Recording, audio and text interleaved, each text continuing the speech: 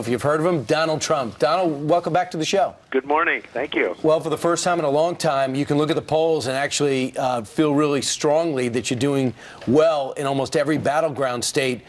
What is your reaction to, for example, uh, what you're what you're doing in Florida, up 41-39, with Johnson getting 47-44, 47-44, with Johnson getting a surprising.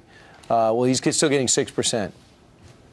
Well, my reaction is we've really had a good month. I think, Brian. It's been it's been a lot of fun. It's been very exciting. Uh, we went to Pensacola. We had a tremendous crowd. They had to have 25, 30,000 people, of which, you know, half of them couldn't get in. It was it was an incredible day. And it, you know, Florida. There's tremendous enthusiasm in Ohio and Florida. Pennsylvania is coming unbelievably well with the miners that she wants to put out of business. And you know, the whole thing is uh, just working. We, we really did. We've had a, a, an incredible month. There is great enthusiasm. What changed? I don't know. Uh, you know, I think I've been saying similar things. I talk immigration and illegal immigration. I talk about jobs, a lot of jobs. Maybe that's it because I'm very focused on jobs. Talk about our very depleted military, how we're going to fix it and take care of our vets, and Second Amendment, the judges. I mean, talking about a lot of subjects. We have a lot of problems.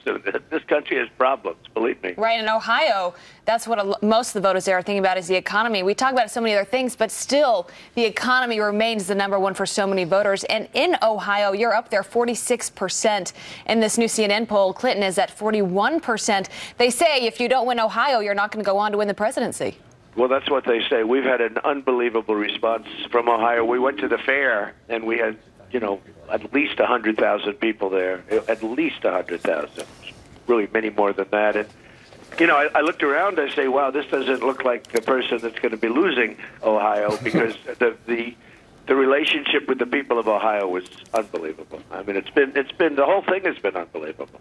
Well, I tell you what, you were on our program on Monday, and uh, Hillary Clinton had collapsed at the 9 11 uh, commemoration, which you were also in attendance at the day before. You announced that you were going to be releasing some of your health records.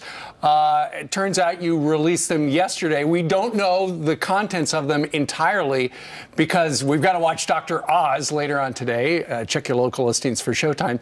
But here's something you, and you've already seen this, Donald Trump, because you said it about uh, 18 hours ago. Talking about how you believe you've got the stamina for the presidency of the United States. Here you are with Dr. Oz. Let's talk about stamina. You've yeah. you've used that word a lot. You've made an issue in this campaign. You argue that a president has to have a tremendous amount of stamina. Uh, if elected at age 70, you will be the oldest person to ever enter the Oval Office. Why do you think you have the stamina for the job? Yeah, just about the same age as Ronald Reagan, and um, and Hillary's a year behind me. I would say just based on my life. I mean, I've had, I, I, actually, and I don't know if this makes sense, I feel as good today as I did when I was 30. Well, that's great. Uh, I know we're going to have to watch Dr. Oz later today to get the results, but what are the highlights of the two documents that you presented to Dr. Oz about your health? Well, the one document talks about Lenox Hill Hospital, which is a great hospital in New York, and the other one is, uh, you know, where where the doctor is associated in some form and the other one is uh, the physical. And I did all the tests. I did every test. I did it last week, and the samples all came back. And I guess I wouldn't be talking to you right now if they were bad. If they were bad, I would say let's uh, sort of skip this, right? How's your cholesterol? Skip, hey, we'll, yeah, we'll, maybe maybe no more fast food, huh? Yeah, the, the cholesterol I think is quite good.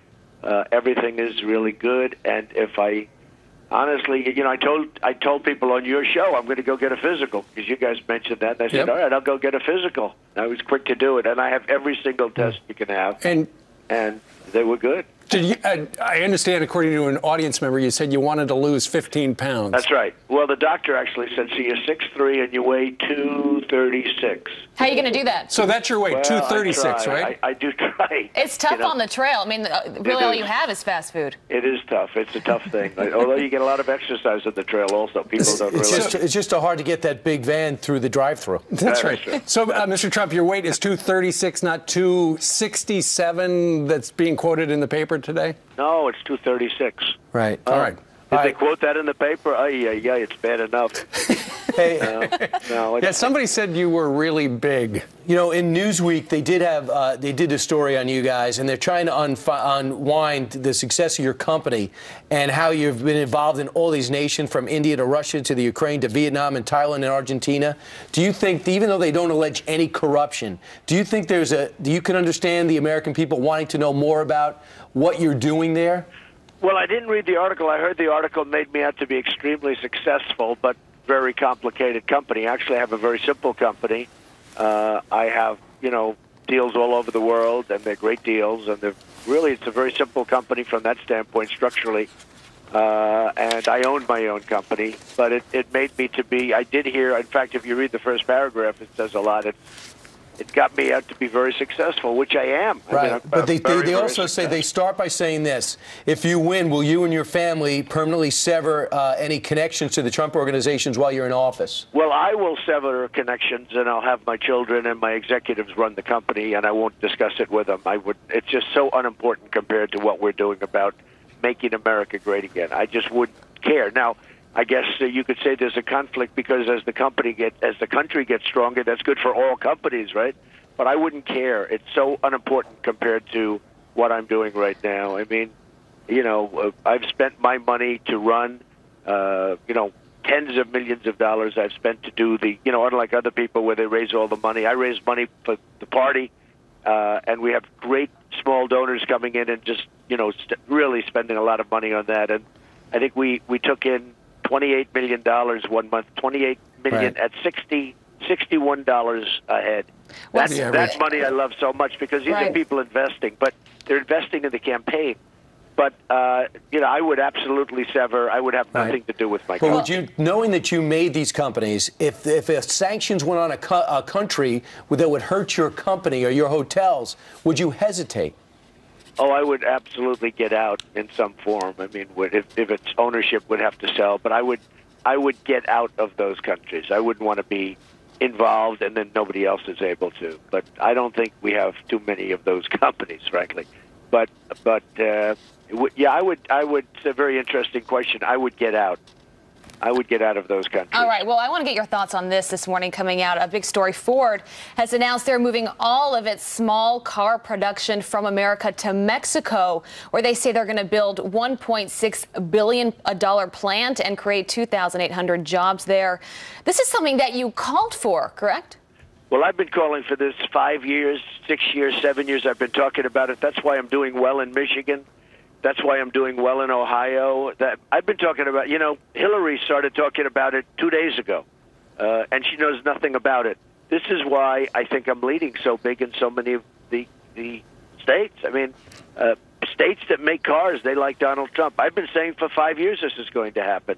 I can't believe the brazenness. Now, I think they maybe announced it today because they think I'm going to win and I'm going to stop them. You know, I have a way of stopping them very, very easily, and the politicians have that way too.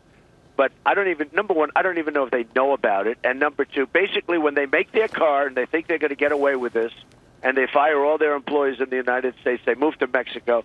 When that car comes back across the border into our country, that now comes in free, we're going to charge them a 35% tax.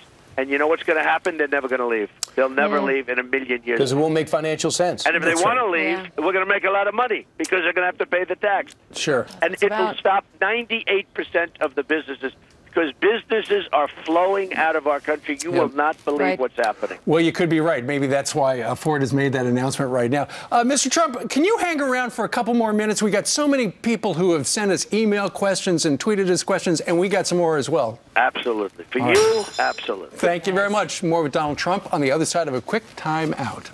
See you soon. Also, because we want to ask him about this. Mr. Trump, I invited you here to thank us for what Oh, we've done oh,